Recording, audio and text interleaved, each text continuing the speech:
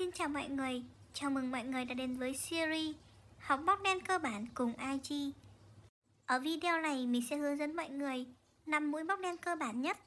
Khi đã nắm được các mũi móc đen này rồi thì hầu như 90% mọi người đã biết móc đen rồi đó. Đầu tiên là mũi bính. Để bắt đầu móc len thì trước tiên chúng ta sẽ tạo một nút thắt. Đầu tiên sẽ để sợi len ngắn lên trên sợi len dài sau đó gặp lại thành vòng tròn. Rồi kéo sợi len dài bên trong ra để tạo thành một nút thắt. Nút thắt này có thể điều chỉnh nhỏ lại bằng cách kéo sợi len dài và ngắn. Chúng ta sẽ dùng tay phải cầm kim móc, tay trái cầm len để móc. Cách cầm kim móc thì mọi người có thể xem ở phần 1. Còn cách cầm len để móc như sau. Mọi người dùng hai ngón cuối để giữ sợi len, ngón trỏ là phần để lấy len. Còn ngón cái và ngón tay giữa là phần tì để giữ. Và chúng ta sẽ bắt đầu móc mũi bính như sau. Đặt kim móc lên trên sợi len, sau đó kéo cái sợi len đấy qua vòng trên kim móc để có thể kéo được sợi len qua mắt xích thì mọi người hãy quấn một vòng trên kim móc rồi dùng đầu kim móc kéo qua mắt xích. Như vậy là đã tạo được một mũi bính. Để mình lặp lại thêm một lần. Đặt kim móc lên sợi len, quấn một vòng trên kim móc rồi kéo qua. Như này là đã được mũi bính thứ hai. Mọi người theo dõi video rồi luyện tập thêm nhé. Mũi bính trong công thức móc được ký hiệu là chữ bờ hoặc là CH.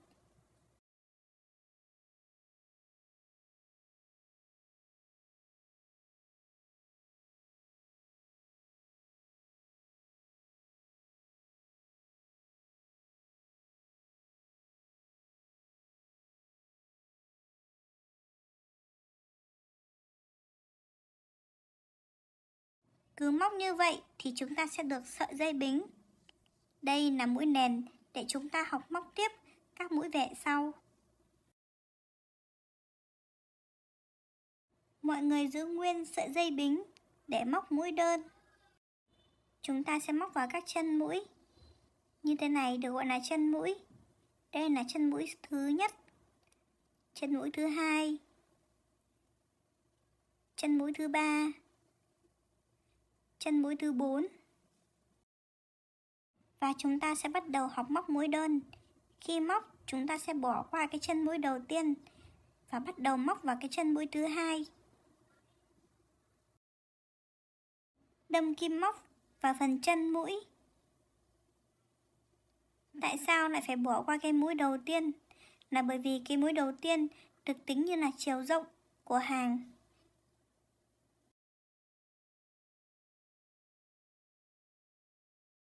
đặt kim móc lên trên sợi len, rồi kéo sợi len qua chân mũi. Như này đã tạo thành hai vòng trên kim móc. Tiếp theo chúng ta sẽ kéo sợi len qua hai vòng trên kim móc đấy. Như thế này đã tạo thành một mũi móc đơn. Mũi móc đơn trong công thức móc được ký hiệu là chữ X và chúng ta sẽ luyện tập thêm nhé. Đâm vào chân mũi, kéo sợi len lên tạo thành hai vòng trên kim móc, rồi kéo qua hai vòng trên kim móc đấy. Như vậy đã đã xong mũi đơn rồi nè. Mọi người cứ tiếp tục luyện tập như vậy cho đến hết hàng nhé. Mũi đơn là một loại mũi phổ biến nhất trong móc gấu, móc áo, móc hoa, móc mũ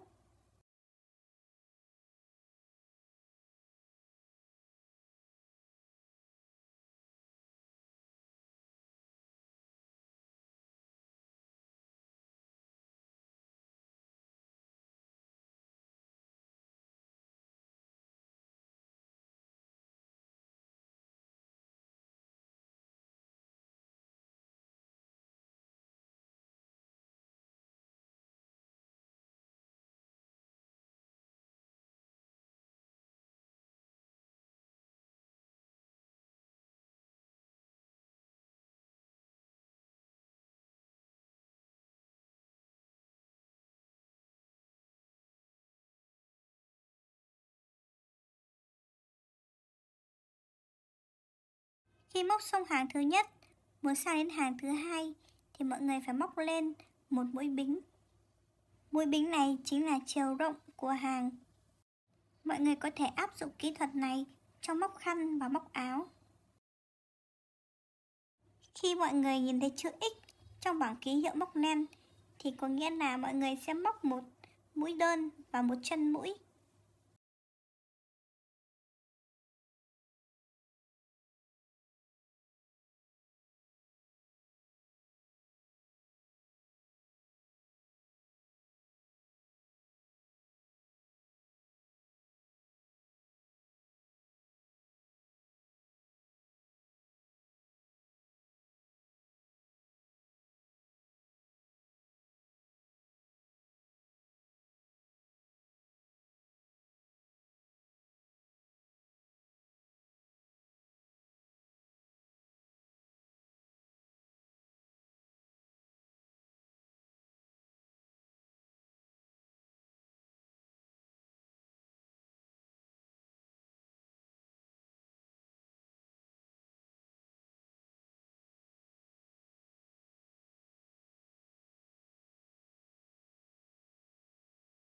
Nếu như móc mũi đơn từ đầu hàng cho đến cuối hàng như thế này, thì mọi người sẽ có chiều ngang giữa các hàng là bằng nhau.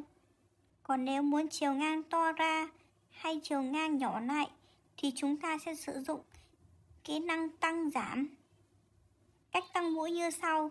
Tăng mũi trong móc len được ký hiệu là chữ V. Khi nhìn thấy ký hiệu này thì chúng ta sẽ móc vào mỗi chân mũi là hai mũi đơn. Được một mũi rồi này. Tiếp tục, tại cái chân mũi đấy, chúng ta lại móc tiếp vào đấy một mũi đơn nữa.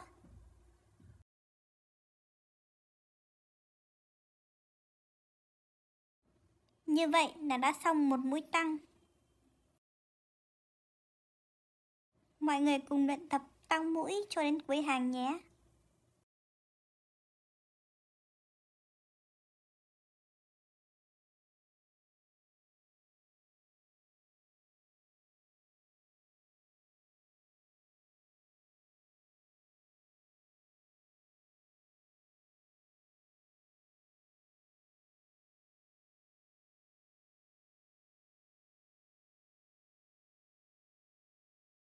Như mọi người đã thấy, sau khi tăng mũi thì ở hàng thứ ba, chiều ngang đã dài hơn so với hàng thứ nhất và thứ hai. Tiếp theo, nếu muốn chiều ngang ngắn lại thì chúng ta sẽ dùng mũi giảm. Mũi giảm được ký hiệu là chữ A.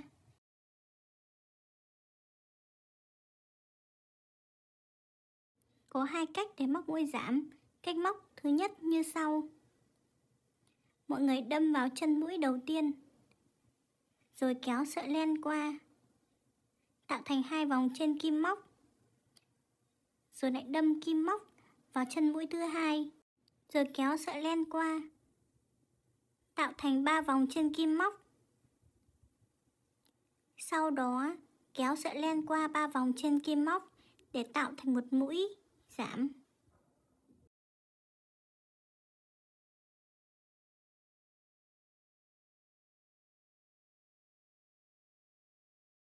Cùng lặp lại nhé.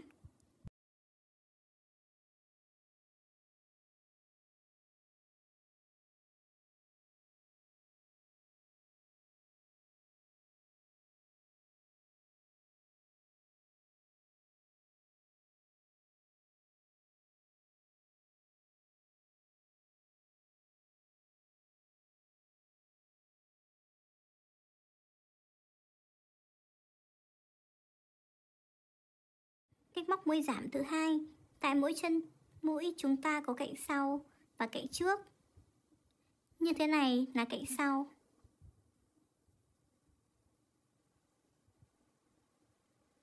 Còn như thế này là cạnh trước. Chúng ta sẽ móc mũi giảm vào cạnh trước. Đầu tiên tâm kim móc vào cạnh trước của chân mũi đầu tiên.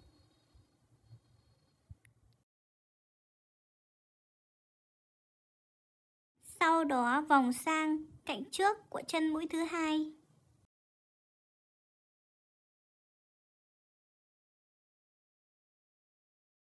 rồi kéo sợi len qua hai cạnh trước của chân mũi, tạo thành hai vòng trên kim móc. Sau đó lại tiếp tục kéo sợi len qua hai vòng trên kim móc này. Như vậy là đã xong một mũi giảm.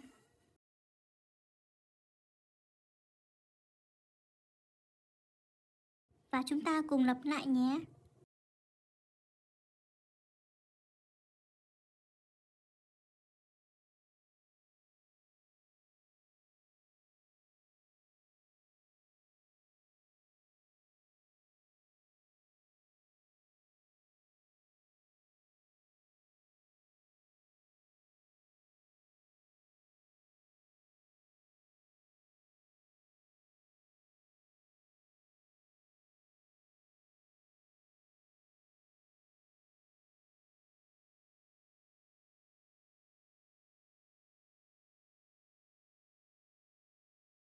Tiếp theo là mũi nửa kép.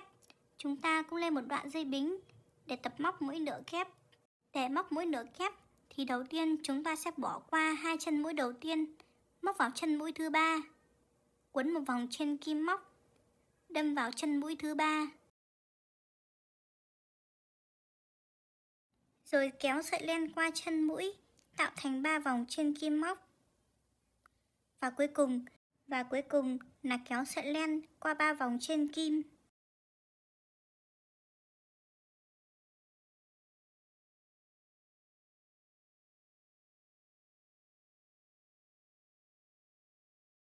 Và chúng ta cùng luyện tập nhé.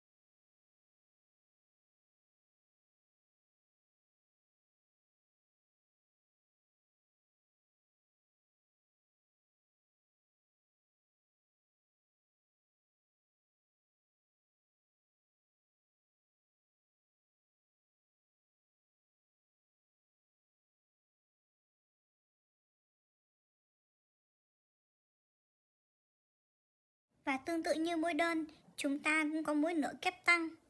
Cách móc mũi nửa kép tăng tương tự như vậy. Đầu tiên móc một mũi nửa kép vào chân mũi.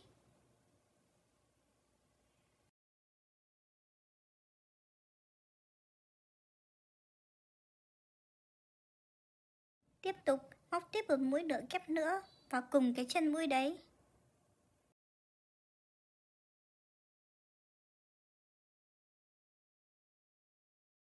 Như này chính là mũi nửa kép tăng và mọi người cùng nhau tập luyện nhé.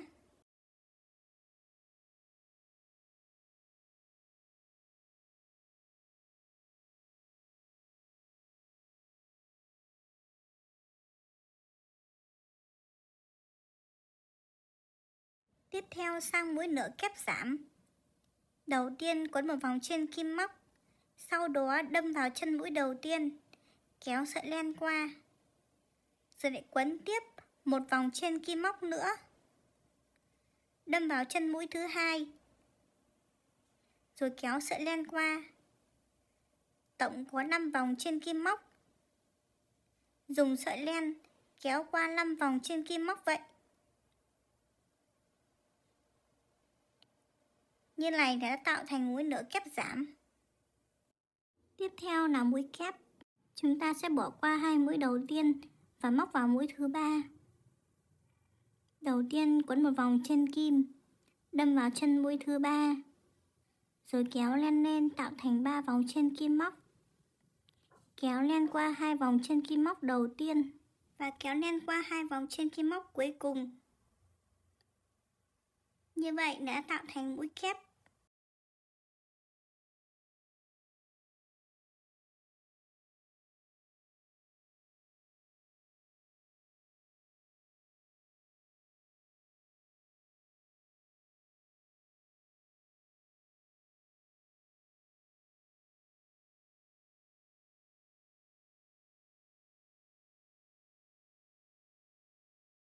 Tương tự như mũi đơn thì cũng có mũi kép tăng.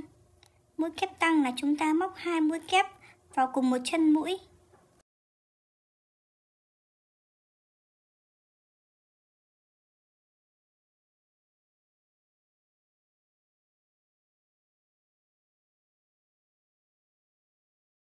Cách móc mũi kép giảm như sau. Đầu tiên quấn một vòng trên kim móc, đâm vào chân mũi đầu tiên, lấy sợi len lên, rồi kéo len qua hai vòng trên kim móc đầu tiên. Rồi tiếp tục vòng một vòng trên kim móc, đâm kim vào chân mũi thứ hai, kéo sợi len lên, kéo sợi len qua hai vòng trên kim đầu tiên và cuối cùng là kéo sợi len qua ba vòng trên kim cuối cùng. Như vậy đã tạo thành mũi kép giảm.